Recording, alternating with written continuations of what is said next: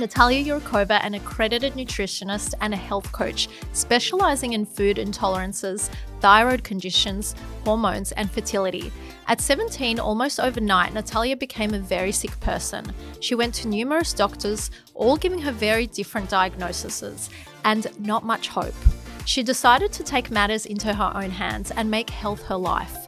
With advanced trainings including applied science, major in nutritional medicine, Natalia has run her practice in central Sydney for over 15 years, helping her clients break through health issues from everyday well-being to complex problems that medical doctors couldn't diagnose, let alone treat.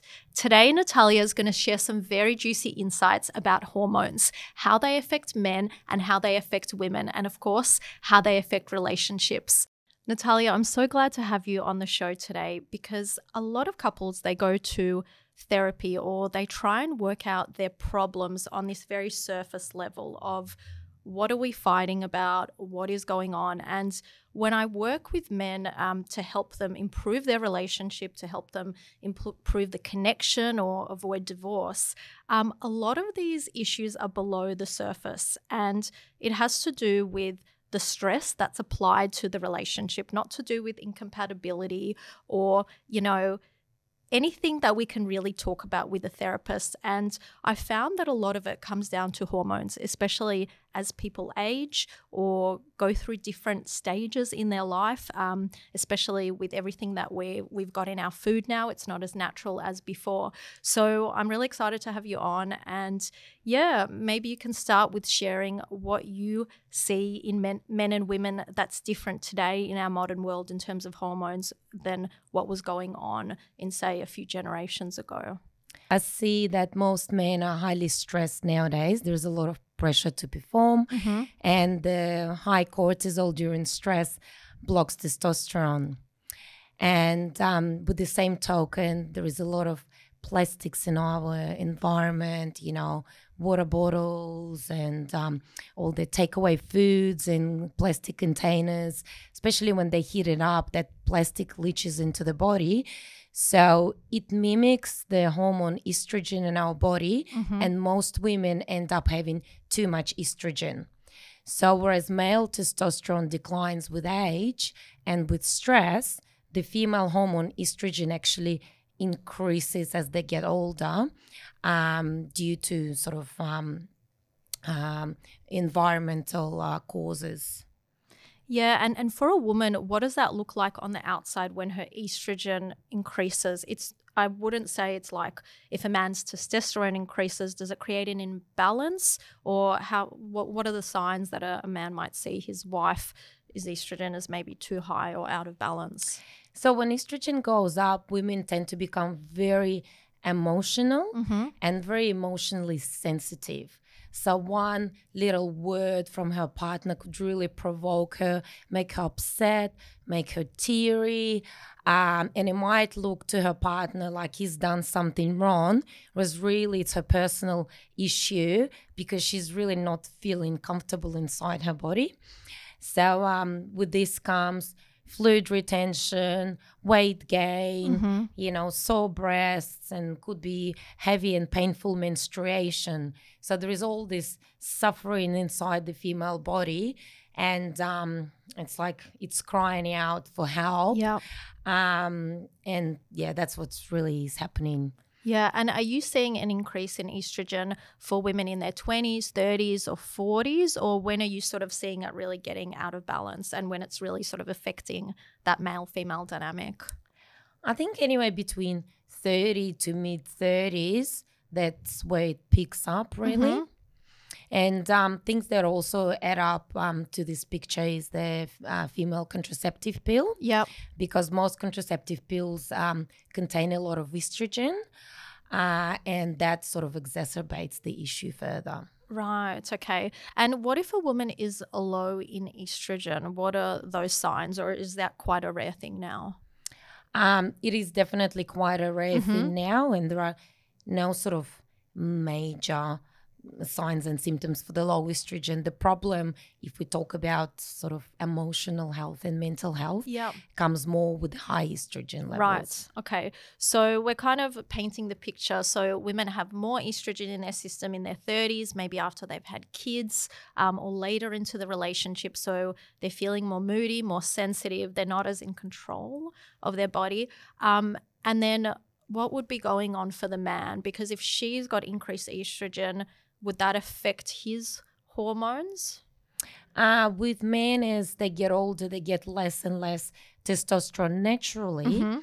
And then, like I said, things like stress, alcohol consumption, junk food consumption, all is going to decrease testosterone further. Yeah. And as testosterone goes down, um, which, you know, it is the main male hormone, that's the hormone of sort of self esteem. Yeah. And, you know, it's them being males. Yes. It's like their happy hormone. Exactly. So once it goes down, their self esteem is down, Mhm. and there is this real sort of uh, feel inside like they need to prove themselves. Yes. Um, and that's where you get this, like they say, middle age crisis. Right, yeah. What was the midlife crisis? So as and I think most men feel that in themselves as testosterone goes down, libido goes down, there's less drive or motivation in general. And do you think a little bit of um, depression comes with that or aggressiveness? How, how does how would that look like within the relationship or to the female partner?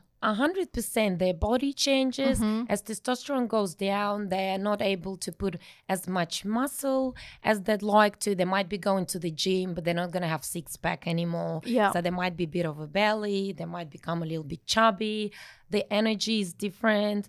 I was actually talking to my um, male friend yesterday, and I said, um, "How does it feel to be 50?" Yeah. And uh, he said to me, Look, I'll be honest, I'm not as spontaneous when it comes to going on a date or doing something with my mates. I really would prefer just lie down on a couch, which is not really him. yeah. And um, it's not the same at the gym. He needs to have a coffee before he trains. So it really does change. Um, and obviously, sexually, it you know it's completely different. There might be not as much desire, Mhm. or it might not last as long, or it's much harder to get it all started in bed. So it's and, completely and that's a big issue for men because you know there's so much of this external conditioning that you are a man basically you know to say crudely if you can get it up just looking at a tree or a rock or something like that right? So there's this huge misconception. Um, and it's interesting that you mentioned the age 50 because i have this theory that a lot of men come into spiritual wisdom or even maturity at 50 um, and it could be because of that drive going down. So I don't necessarily think it's all negative, um, but because we're not really educated on hormones, on our emotions, what affects us, our health, then we don't really know what to do with these things and you know how to bring that stuff into balance. Definitely, it's sort of the time to start looking within. Yeah. And and I don't think it's so bad that a man cannot necessarily, you know, feel sexual straight away. Um, it might bring the relationship into balance with his partner. Um, but on that note, how does estrogen usually affect a woman's libido? Does it make her more aroused or what, what does that do? Look, because of high estrogen, women get more fluid retention, Mhm. they gain weight. It really affects their moods, not in a positive way, because Yeah. they become so sensitive. They can be too sensitive to touch. Like if their partner touches their breasts, it might Mhm. frustrate them, it might Yes. feel painful, irritating. They're not happy with their bodies. Uh, and that way they might be less likely to initiate the whole process or just feel not as happy during. So it definitely affects it negatively. Yeah, no, um, I can resonate with that. Um, and, and also something that I'm curious about myself, which I never took too much notice of, um, especially, I guess we live in a very masculine structured world. And if you're a woman who is working, who has a business, you don't take a lot of notice of maybe what's going on in your internal body. Um, so for me, I never really experienced PMS throughout my life, but it's something I've started to pay attention more and more to. Um, and I think, you know, you notice yourself going in cycles and you notice yourself being more sensitive or, you know, more angry at certain times of your cycle if you don't let your body rest. Um, so, and I think it's a really good thing for men to understand a woman's cycles, right? Because sometimes they might feel like it's this ocean of emotion. They, they don't know what's going to happen next. Um, so, what are the key times in a cycle, or, or, what should a man know? And, you know, even I think I need to know for myself. Um, you know, how you're feeling at different points of the cycle and how a man can be supportive or kind of get what he needs from his woman, right? During that period. Um, what happens is PMS is called it's a premenstrual syndrome. Mm-hmm. So um, it's different for every female, but usually it's associated with sort of heightened emotional sensitivity. And um, also, like I said, that because the estrogen does go up during PMS. So, mm-hmm. fluid retention, weight gain, uh, again, you know, sensitive breasts, and so on and so forth. And um, uh, women react to a lot of things, even tiny comments, and anything their partner does might really irritate mm-hmm. them and make them teary. So it's a good time for their partner to understand that if their wife or girlfriend is annoyed, it might have nothing to do with them directly. Yeah. And um, I think all women want during this time is to be sort of emotionally supported and, and just a basic hug could do a lot mm-hmm. of um, sort of um, like have a soothing effect, uh, a cuddle, and just say a compliment, you know, oh, you look beautiful today, mm-hmm. you know, and um, just acknowledge, I don't know, female achievement at work. I'm so proud of you. You've done this. So that that's what they want during that time. I think if um, your partner would know exactly when your cycle is and that week or two weeks prior to the cycle when you become a bit more sensitive they could understand that it's not the time to argue or yeah. react to partner's comments. It's the time to sort of think okay yes she did say that but it's that sort of difficult sensitive time for her. I'm just not going to react to it yeah, and I think this is really good information because we have this sort of false assumption that we're really in control of our actions or reactions, but um, we have so much less control of our body, of our hormones than we realize unless we're educated on this sort of stuff. So I think a man's natural tendency, especially the guys that I've worked with, is they sort of start to avoid or step away from the moods. You know, they yeah. go into their cave and they just want to not be present right? You know, but what a woman really wants during that time is for that support, even if she's pushing him away. She wants that strength, that stability, because you are feeling so, um, I guess, not in control of yourself. Absolutely. And especially if you're um, a career woman, that's really difficult. I think that's even more difficult if you don't have the space um, to feel your emotions. That's when they really come up. Totally agree with that. Yeah. Um, and so, okay, I'm going to bring up a little bit of a touchy topic, and it's a little bit of an urban myth. Um, and male menopause is is this a thing? is this an actual thing, or is this kind of like the man flu? It, it's called andropause, and it's mm-hmm. um it's sort of like a male version of menopause when the hormones change and testosterone really goes down. And sometimes when what we believe a female hormone estrogen, mm-hmm. um, it is present in men as well. And with age, that estrogen does increase, and that's where you know how we hear men boobs and mm-hmm. you know they mm-hmm. get a little bit more fat on their body, less muscle, and um, they might get um, a little bit of receding hair or yeah. you know balding and um, they definitely have less energy mm-hmm. and um, and is this, that from the decrease in testosterone is that that's from the decrease in testosterone yeah. and um, it usually does affect their sexual performance mm-hmm. as well so natural reaction during that time is oh, maybe because I've been with my partner for so long, maybe I can't mm-hmm. really perform in bed because I've known her, it's all too familiar, there's nothing exciting here. Or I gotta prove to myself that, you know, I'm a real man, I can do it. And then sometime the thought comes in oh what if i had a different partner Yeah, maybe so- it's going to be more exciting maybe just that stable relationship and all same same Mm-hmm. and um, some just mentally explore and unfortunately some explore No, and I think you're totally Further. onto it because a lot of men, you know, if they've been in the same relationship most of their life as they're growing up, you might think, well, it's not me. It could be the partner. Maybe Absolutely. someone else will fix this because, you know, for men, yeah, that is their manhood, right? Um, and and state safety and stability doesn't really build testosterone, right? They need challenge. It's like when a man is courting a woman, he feels the best because um, his testosterone goes up. It's new, it's different. He has to overcome a challenge, he has to push. But after living domestic life, um, you know, there's all these jokes about how life gets boring and blah, blah, blah, but it doesn't have to. I, I really believe that this is our hormones, that we're not kind of like exercising our hormones. And this is sort of like increasing the aging process. Um, and I do really think there are things that we can do about this. So, um, what would you sort of recommend to men who might be going through this male menopause, um, or you know they feel or they're doing some tests to see that their testosterone is dropping?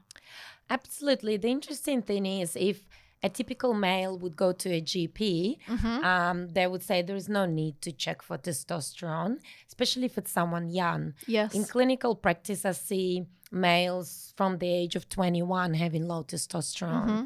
It's very common nowadays. And um, it's very important to check that. Uh, if your GP says no, we can always test privately and then it can be corrected. Um, there are lifestyle um, uh, tips for how to improve it. For instance, a male could do um, squats and sprints um, that um, considerably increases the level of testosterone. And then there are um, dietary recommendations, and also I've got herbs and nutrients as supplements that can considerably um, correct testosterone levels. Yeah, and I think that's really good information because there's this sort of like quick fix that we have. If you go to a GP, they will usually prescribe a guy Viagra, right? But that doesn't really have it, it doesn't solve the problem. It doesn't deal with those hormone levels. It's kind of like putting a band-aid on it. Um, and I think because we've got so much suicide and depression, especially in Australia with men, um, there's this sense that testosterone could play a really big role in reversing that if doctors were more educated or you know if the public was more educated on how hormones affect you emotionally Hundred percent. I feel like um, it's a little bit sad because when normally when you go to GP, they do not explain why your blood tests are abnormal. A typical example, for instance, of my ex-partner who had really high cholesterol, uh, the GP instantly wanted to put him um, on cholesterol lowering medication. Um, but they did not inquire about his diet, you know, and it was full of processed foods Yeah. and uh, high uh, fat content foods. So no one encourages you to look at your lifestyle or at your diet, which is the base of everything. yeah And then if you do need to be on medication, fair enough, but you got to understand what's happening with your body and why it's happening. And that gives us a bit of a comfort. And also I think it's good to know that for let's say for a typical male that he's not the only one. Because No. guys don't talk about that sort of stuff. They'll want to sort of appear, oh, like I'm this macho guy with the muscle. But they don't talk between themselves that, I don't know, they're stressed about losing hair or losing muscle and getting a belly. Uh, whereas pretty much it affects almost every male mm, t- to the same degree, more or less. Yeah, I, I still think it's quite a taboo topic, right? So, you know, the, the only thing that's referenced to that, I think, in the medical space is Viagra, Cialis, these quick fix, um, testosterone replacements, um, and and these things, you know, and things that are sort of passed around at gyms in a, in a black market type of way. Um, but these things can also be really unhealthy, um, and you know, they can leave you infertile, and they don't really get to the root cause of the problem. Like I even worked with a really young guy. Um, he's about 19 years old, very fit, very athletic. He was a trainer. He had his own business. Um, he pretty much worked out seven days a week. He looked like he would have high testosterone, it was extremely low. So he stopped having a sex drive. Um, he was you know, getting quite depressed, right? And he had no reason in his life to be depressed because he was Instagram perfect. Um, and it came down to this low testosterone. Um, and, and the only real shift that we did because he ticked, you know, he was a very rare case where he ticked all the boxes in the health space. It was he was not giving his body a rest and he was creating his own stress, you know, through this drive in order to perform, to succeed. Absolutely. And also, no one thinks of exercise as being stress to the body. Mm-hmm. Yeah. And it is a very big yeah. stress to the body. And another important thing is we do need to remember that uh, recreational drugs block testosterone. Yeah. So I encountered that a lot in guys that are really muscly mm-hmm. and look healthy. Obviously, they go to the gym, they might even eat healthy, but they do take recreational drugs, and these ones do block testosterone. Yeah. And is that like cocaine or what? Oh, absolutely. And even things like alcohol. Yes. And I heard that alcohol also has a lot of estrogen. absolutely. It well. It's estrogenic. Yeah. So, pretty much, if we talk about estrogen, if we will generalize it, a healthy diet is good for estrogen levels. Mm-hmm. And um, any processed foods, sugary foods, and alcohol would significantly increase estrogen levels. Yeah. Um, I feel like we, we need to really start being a lot more conscious of what we eat because, you know, I guess the typical Aussie blokey blokey, you know, thinks having a beer, eating some meat, um, doing these types of things, but they're actually producing more estrogen in the body, right? Uh, watching a football game as opposed to building testosterone naturally. Absolutely. Um, and I think this plays a really big role in divorce, right? Because um, I guess through the men that I've worked with and the statistics that I see is that it's often women that are actually the ones who divorce or create the separation. Um, and this was really uncommon before. Obviously, women have more rights now and things like that. But I think there's also in, an imbalance in hormones. So when male testosterone drops, they become almost indifferent, right? They become passive. And women want attention. They want to be seen. They don't want to be invisible. So, what can couples do if they're going through this difficult period and maybe they've seen a couples counselor and it, you know, didn't really address much? It sort of moved the furniture around. Um, and maybe they're not ready to do coaching or, you know, to go to that deeper emotional level. Um, what can they do on a hormonal and a health level to start reducing the stress and bringing the moods back into balance so that they can connect again? Um, I think you always gotta look at the whole body approach. That's why I quite often refer to other practitioners, whether it would be a psychologist mm-hmm. or an acupuncturist. And um, look, diet is the base for everything. So I don't know if you've ever noticed if, let's say, you have some junk foods, mm-hmm. and if you've ever felt how your mood is, it yeah. definitely is very different. So, and um, especially with our really fast paced life, everyone is just living on takeaways. Most clients I yeah. see, um, they don't cook. Takeaways have become much more affordable. And obviously, the companies um, selling takeaway foods, they're trying to make more money. So, what you see typically is a lot of processed white, you know, white rice, potatoes, just a little bit of protein and a lot of oil to mm-hmm. make the mm-hmm. food sort of more enjoyable.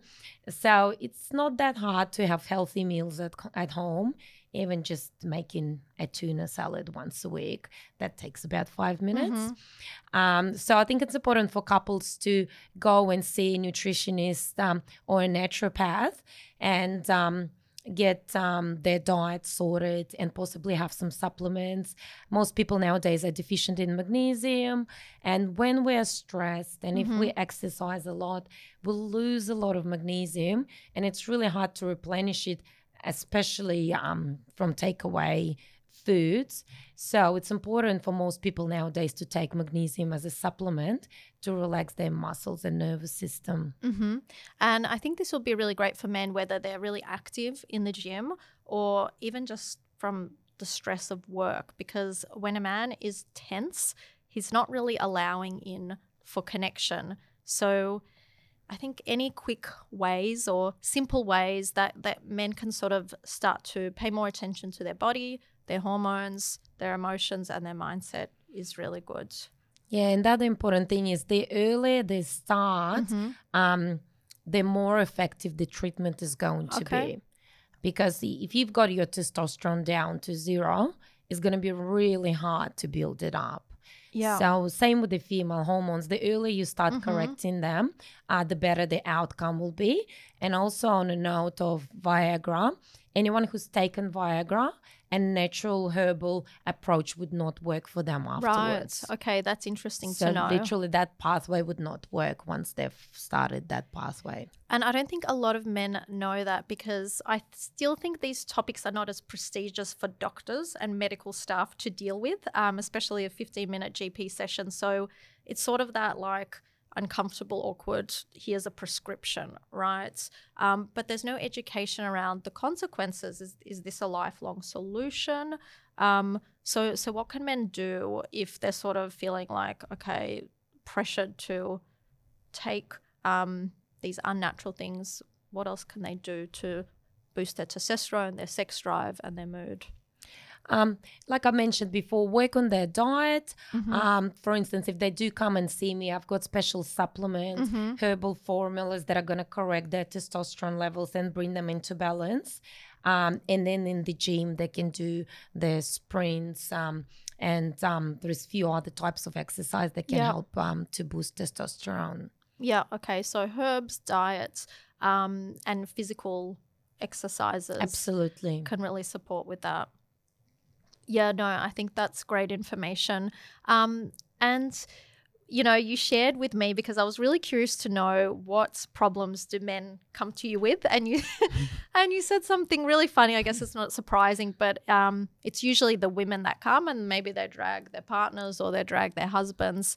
Um, so why do you think that? Why do you think it's sort of the women pulling and, and dragging their husbands? And you know, what what issues are you seeing in men? What what should they know that they actually need to see um, you about or a health practitioner about? Look, I guess in general, men are much less health conscious and um, they do not like to admit that something is wrong with them. Mhm. So it's also part of that, you know, male thing. Like, I don't need any help from anyone. I can just do it all on Mm. my own. Um, and Or maybe there's also a little bit of fear, right? Because as we said, that, that area, it's like testosterone, it's it's everything, right? So there's a fear that there might not be a solution. Absolutely. And um, yes, I, I'd say on average, I would have about 90% of female clients and about 10% of males. And it's usually their partners that they literally drag along. Mm-hmm. And it takes them anyway between six to 10 years to get their partner, to convince their partner to come and see me. Right. And then when they do come and see me and bring their blood tests, if I Mhm. do mention that they've got low testosterone, I can see the fear in their eyes, and it sort of starts with like, "But I, I haven't got any problems," Mhm. and straight away they start thinking about bad and sort of Yeah. sexual performance. So it's that embarrassment, yeah, that shame. the Yeah. embarrassment, and it's sort of try to prove like, no, no, no, they can still do it. And um, I do say to them that look, sexual performance is not the only indication of your Mhm. testosterone Yeah. status. Firstly, by doing a blood test, I can look inside their body and see if their level is good or not. Um, so you can't really trick me. But then a lot of them have already lost all of their hair or, you know, have got those patterns of losing hair. And um, you can see that it's harder for them to get muscle Mhm. and they would mention later that I would have gained, I don't know, 10 kilos in three years and nothing has changed. So um, you can definitely see symptoms of low testosterone. And then, look, I guess we don't know what's really happening in the bed. No, we don't know un- unless they do share it with us. But I, I do think you know it's it's sort of like this common knowledge that after a while things don't become as interesting or as, as spicy, and, and men lose the connection. So a lot of men do come to me because they've lost the spark. Uh, within their relationship, they still love their wife, their wife loves them, but the, the spark is gone because it's almost like, you know, how they say about dogs, they start to look like their owners. When Yeah. men and women live together, some of the polarity goes, right? Polarity, chemistry, hormones. So it's almost like when a couple is at that stage, when they've been together for seven years or more, once they've had the kids, they've ticked everything off. It's like they can become like housemates. And I think a lot of that has to do with hormones and the pathway forward so that they can grow in love together, so that they can stay connected and like enjoy this life that they've created is building up the polarity in the hormones, right? So a woman balancing her estrogen levels um, and a man boosting his testosterone because that, you know, as women, we we are we do have an attraction 100%. to that, right? Is is there anything, any I guess insights that you have on that, on how you know women maybe through different parts of their cycle, or you know just from your personal experiences, how women might feel more attracted or less attracted to a man based on what's happening with him on a hormonal level without even knowing that. Look, I know you have access to tests, but all I'd say, I'd sort of, um, it'll be on a similar topic, but I'll step away a little bit. I'd say that as women have become more independent Mhm. nowadays, I see higher levels of testosterone in women. yes, And one of the conditions that's associated with high testosterone is polycystic ovarian syndrome, which Right. stands for PCOS. And I see a lot of it. Yes, it's becoming really common. And and just before we get into that, what's sort of the traits of higher testosterone in women? Like, you know, what is she, what are her characteristics more so like? So if she's got high estrogen, she's more sensitive. You know, everything makes her cry. Everything's sore. What does high testosterone do? Um, well, you know, testosterone is a male hormone. Mm-hmm. So it's sort of uh, on on the outside, you might see this sort of like a stronger personality, like you know, like a bit of a male, Yes. sort of very strong, independent personality, and then you get things like um, skin breakouts Mhm. and excessive hair growth.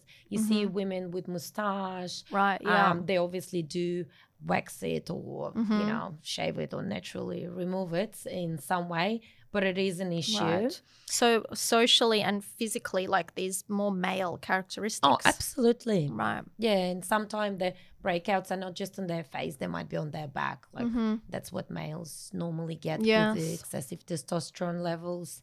So, um, and you do see way more um, high estrogen levels in males nowadays, Right. especially with our population getting bigger in size. Um, even uh, when um, companies manufacture clothing, our sizes are getting bigger. Right. Yeah. So yeah, we're changing as a population Absolutely. physiologically, um, and I think that really changes the attraction because I don't remember the study. I'll have to look it up. But there was this study done on mice, and they basically put mice, you know, male and female mice, in these fake cities where they didn't have to do any work. They didn't have to hunt for food. They didn't have to find it. They were just fed food. Their their life was made for them. Basically, you know, everything that we think we dream of. And what they found in these mice, in the male mice, is that you know obviously the hormones change, Yeah. the testosterone drop, estrogen, as we've been speaking about with humans. But the male mice became more complacent. They became more apathetic, um, and and this is slightly controversial and doesn't necessarily translate to humans, but this is the study that these male mice became homosexual. So they became gay. they Oh, were wow. attracted to other male mice. And at the same time, the women um, became more disgruntled, not the women, the female mice, and they lost attraction in the male. Absolutely. So I guess um, through the work that I've done with men and sort of what I'm seeing on a social, on a cultural level in our society, as men's uh, testosterone drops, as men don't need to work as hard, you know, whether it's physically or, you know, as a man gets older, he gets more into a senior position, he gets more comfortable, right? And he doesn't have that strength or even that determination, maybe, you know, when he was first building his life and, and courting the woman. And that's what initially the woman is quite attracted to. Um, whether you like to believe it or not, you know, every woman has this attraction to male energy? Um, throughout the female cycle, when a woman ovulates, Mm-hmm. um, they've done um, studies and they say that females tend to put brighter lipstick on, Mm-hmm. more sort of um, sexual clothes, when you can see a bit more of their breasts, shorter skirts, because naturally, you know, that's where you're the most fertile and they're really trying hard subconsciously to attract a partner and have a baby. So Yes. that's So- interesting. So they're they're getting more feminine. They're putting more energy into. Absolutely. They're probably feeling more sexy. Absolutely. Right. And they actually, usually their skin glows Mm-hmm. and um, they actually do look much more attractive during that time. Yeah, and and so when does that happen? If you can sort of go through the cycle again. Uh, look, it, the- it would, uh, as per textbook, be in the middle Mhm. of the cycle, yeah. but every woman is different. It could be anywhere from, you know, day six of the cycle, uh, anywhere close to the end of it. Uh, I've seen so many different variations that it, it's hard to generalize it, but let's say in the middle of the cycle.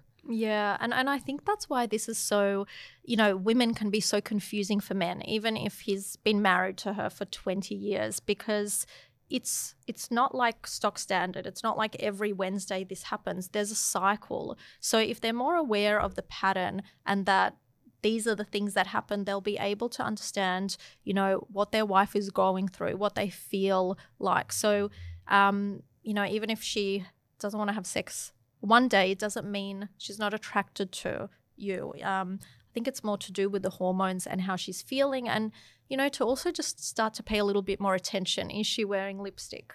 Um, is she dressing up? Because the, these are all signs. These are all Definitely. external indicators of how she's feeling inside, right? I guess the tip for male would be to um you know to try to have most fun during the first part of the cycle as soon as the um you know their partner's periods are finished Mm-hmm. that first week or two that's where women have more energy feel more attractive Mm-hmm. they're more sexual they love their bodies more so that's the time to sort of initiate all of the fun Yeah. Um, and I think another thing that would be really great to understand a little bit more, especially um, for my male audience who sort of, you know, in their late thir- 30s to 40s, um, which is, you know, when a relationship can get a little bit stale, you know, whether physically, emotionally. Um, and, and this is where I think we start to get into menopause, you know, towards 50. And that's when a woman's body changes and, you know, how she relates to the man changes. So, what are you seeing currently um, happening to women during menopause? Um, look, it has changed. Um, I don't know in the last how many years, but the patterns nowadays are completely different. What happened, I don't know, during our parents' generation, because the typical menopause is when the estrogen levels go down significantly and they're really low. Mm-hmm. Whereas because of our environment nowadays, um, a typical female would have really high estrogen levels during menopause. Uh, in a way, it could be a good thing for a female because she will get less symptoms of menopause, less sweating, Right. less emotional swings, and um, she'd sort of feel better overall. Right. Uh, but it is not good for the body because as we age, we're more likely to have different mutations, and estrogen feeds a lot of female cancers and things like that. Right. Okay. So, even though this hormone might make a woman feel better during menopause, um, rather than when it decreases, it can be quite dangerous. It definitely can be quite dangerous. Mm-hmm. And and what how you know how do we know um, what we're going through and, and what can we do about this? Look, everyone should have regular blood tests. Let's say Yeah. once a year, everyone should check their general health, Mhm. and that's where a nutritionist can help and recommend which tests to do. Um, and then you can address it all individually because everyone will be completely different. We don't have just one hormone, there are others involved, and um, you got to work on a case by case basis. Yeah, no, I think that's great. Um, because even before I met you, I didn't realize, um, you know, what you can do with diet, with supplements. Um, you know, it's it's like a miracle, I think, for some people. Thank you. Um, and, and you know, just to close our topic, because we can sort of talk about this forever, and you know right. we probably need to talk again. Um, but what would be the advice you would give to either men or women who are going through an emotional crisis or a health crisis, and they're going, you know, to therapists, they're going to doctors, and they're sort of not understanding what's happening in their life or in their body because this is something obviously you went through at a young age Absolutely. and you know this is why you're an expert um, what would you recommend to people getting all these different information from the outside world but never getting a solution I guess to see a good nutritionist or a naturopath um, and had, uh, have the blood test done and look inside their Yeah. body and see where deficiencies or excesses are. And then that practitioner can tailor make their diet um, and give them supplements if they need to. And the earlier they start addressing the problem, the more effective the treatment's going to be. Yeah, yeah, great advice. Thank you so much for being on. You've been so informative. I think after this segment, um, people are gonna, you know, men are gonna start googling all these things, male menopause. But um, guys, don't be afraid because you can come to Natalia, you can come to me. Um, Thank you. everything. It doesn't have to be drastic, right? Perfect.